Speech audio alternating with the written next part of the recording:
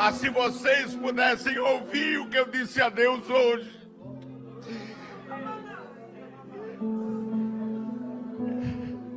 É muito duro.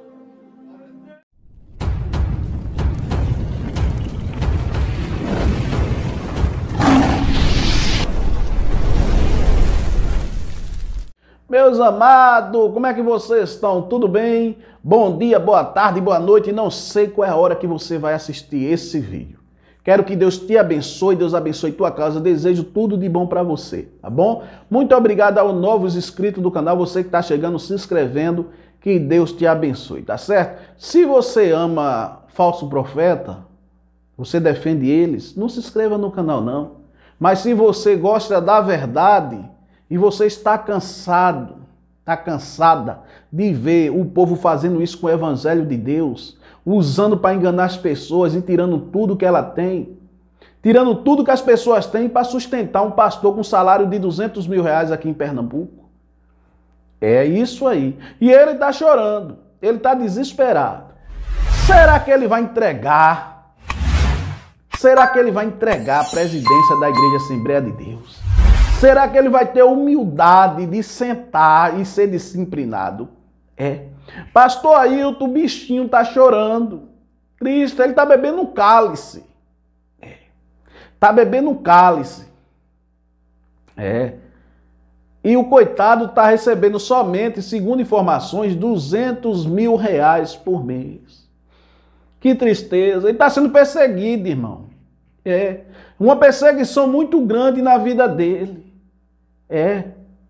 Muito grande a perseguição, 200 mil reais por mês. Qual é a perseguição? É os vídeos que as pessoas fazem denunciando esse absurdo. Aí isso é perseguição para ele.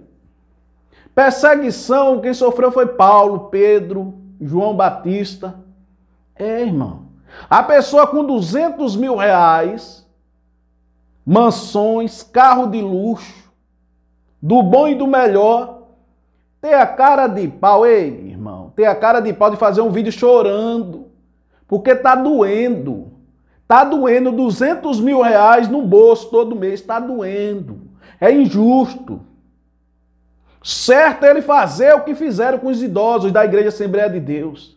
Mandar as pessoas ir lá, os ombreiros ir lá na casa do idoso, no tempo da pandemia, e tirar o dinheiro do idoso, tirar a lã da ovelha dentro da casa dela.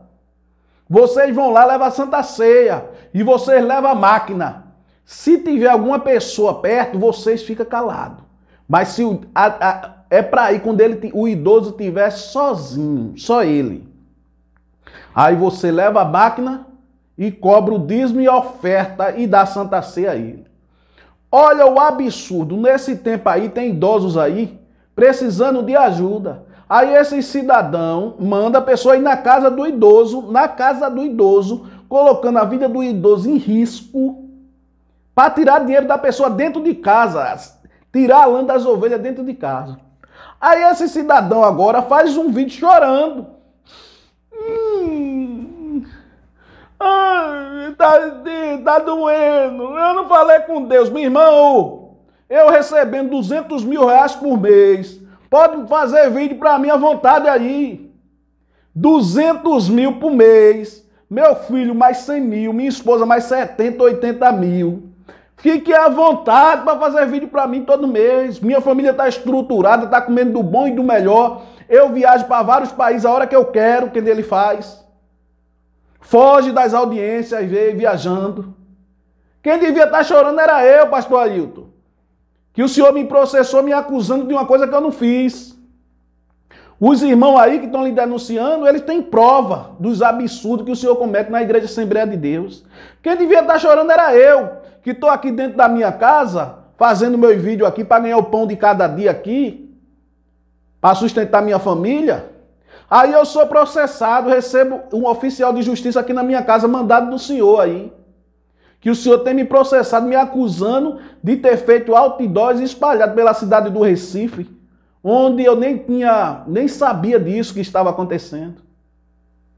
Vim saber depois que fui processado. Agora os outdoors fazendo pergunta ao senhor, responda as perguntas, irmão. Responda, pastor. O senhor está chorando, recebendo 200 mil por mês, pastor? E os assalariados aí, os irmãozinhos da sua igreja, que sai para trabalhar de manhã, volta, volta à noite, pegando ônibus lotado, metrô, colocando sua vida em risco, para ganhar um salário mínimo por mês, tendo que pagar água, luz e aluguel e cuidar dos seus filhos. E ainda o senhor tira dinheiro deles. Obriga eles a dar dízimo e obriga eles a dar oferta na igreja.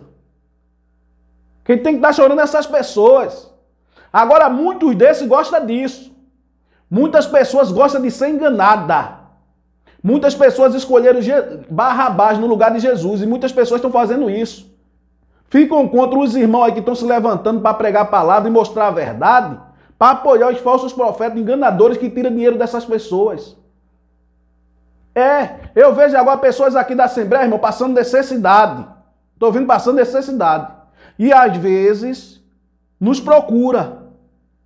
Irmão, eu estou passando necessidade. Muitas vezes eu tirei de dentro da minha casa para ajudar.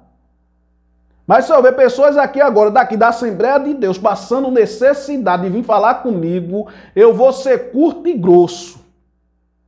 Você congrega onde? na Assembleia de Deus, vá lá e peça dinheiro a seu pastor. Peça dinheiro a seu pastor. Sabe por quê, irmão? Quando a gente vem aqui mostrar a verdade, pregar contra o engano, essas pessoas não nos ouvem. E muitas vezes nos ofende aqui no comentário. É, nos ofende aqui no comentário. Muita gente diz: Eu acho é bom que ele te processou. Tu acha é bom, é? Tu acha bom? Mas ele já tentou fazer uma audiência de reconciliação. É, vai achar bom, é que eu vou até o fim com o processo com ele. Vamos ver quem vai ganhar. Eu vou até o fim, vamos ver quem vai ganhar. Viu? Me caluniou, agora aguenta as consequências. Veja esse vídeo aqui do bichinho chorando. Vou colocar aqui o vídeo para vocês analisar o choro dele, porque ele está bebendo um cálice de 200 mil reais por mês no bolso. Cadê? Tem uma dose desse cálice para mim, não? Me deram uma dose, rapaz. É, me deu uma dose, os trabalhadores recebendo mil e pouco reais por mês aí não estão não tão achando ruim.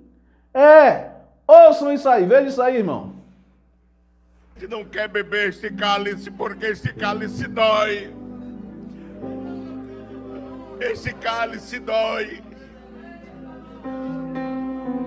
Ah, se vocês pudessem ouvir o que eu disse a Deus hoje.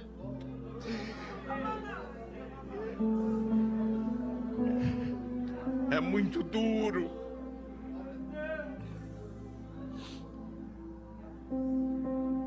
É muito duro.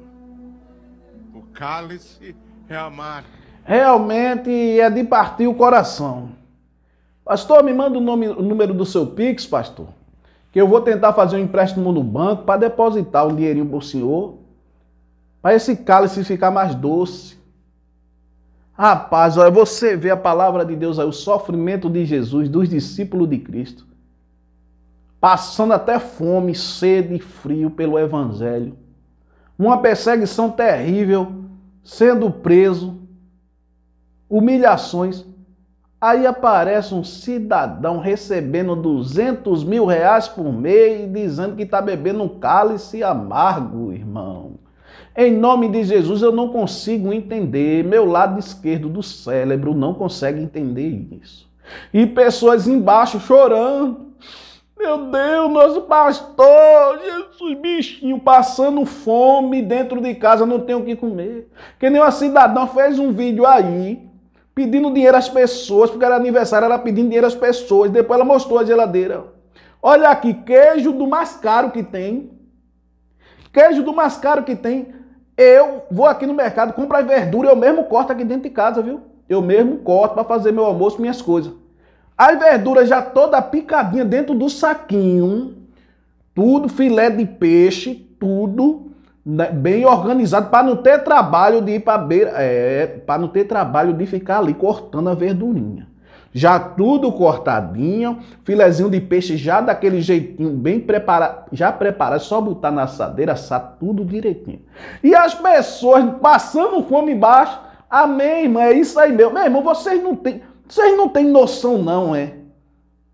Vocês não observam isso não, as pessoas zombam da cara de vocês, na cara dura. O pastor aí passa com um carrão, um carrão de não sei quantos mil reais, segurança aí do lado dele, e vocês estão lá no sol quente trabalhando, e você de ali já vai ali um homem de Deus, e vocês acham que isso é certo? Não pregamos contra homem de Deus aqui, nem contra pastor, a gente prega aqui contra o um engano. É um absurdo um pastor receber um salário de 200 mil reais. Isso é um absurdo. É um absurdo. Está errado. Esse dinheiro é para cuidar das pessoas, dos órfãos e viúvas. Isso é um absurdo. Se você concorda, amém. Quando você receber, pegue todo o seu dinheiro e dê a ele. Tá certo? Mas a gente aqui não concorda com isso e a gente também não vai ficar calado. E outra coisa, não sou santo. Não me siga não, siga Jesus, viu? O exemplo para a sua vida é Jesus Cristo. Não é Eric não, viu? É Jesus. Tá certo que eu sou pecador, sou cheio de defeito. Mas eu não tenho um defeito, esse defeito eu não carrego, esse pecado eu não carrego nas minhas costas. De usar a palavra de Deus para tirar dinheiro de pessoas humildes e simples. E podia ser até rica. Isso está errado. Tá bom? É um absurdo o pastor recebendo 200 mil reais por mês e chorando, dizendo que está sendo perseguido. Me dá, me, dá, me dá 10 mil por mês aí e me persegue aí, faz vídeo para mim todo dia. Vai. Só quero 10 mil. Pronto, me dá 10. Me dá 5. Pronto, me dá 5. Pode me perseguir todo dia aí. Faça um vídeo atrás do outro para mim. Pode fazer de manhã até de noite vídeo para mim. Falando mal de mim o que você quiser. Me dê 5 mil reais todo mês para mim. Eu prometo que eu não vou nem tocar no seu nome. E todo vídeo que eu fizer para você eu lhe elogio. É. Ô, meu irmão, tá na hora do povo de Deus acordar, né? Em nome de Jesus, viu? Tá bom? A verdade tá aí. Siga quem quiser. Quem é a verdade? Jesus Cristo. Tá bom? Deus abençoe. Amo vocês. À noite, 21 horas, live. Deus abençoe.